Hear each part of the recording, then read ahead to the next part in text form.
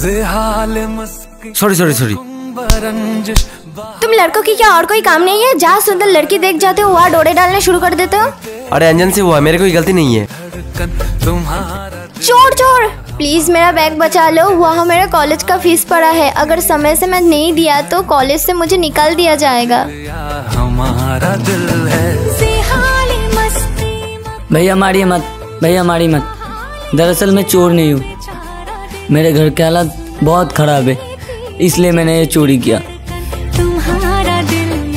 नहीं। राख हो सके तो चोरी दोबारा मत करना। ओ मैडम ये लो आपका bag. Thank you so much आपके वजह से मेरा कॉलेज का फ़ीस बच गया।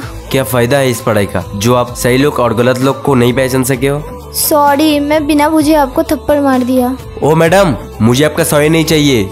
अब आपका बैग मिल गया है चलती बनिए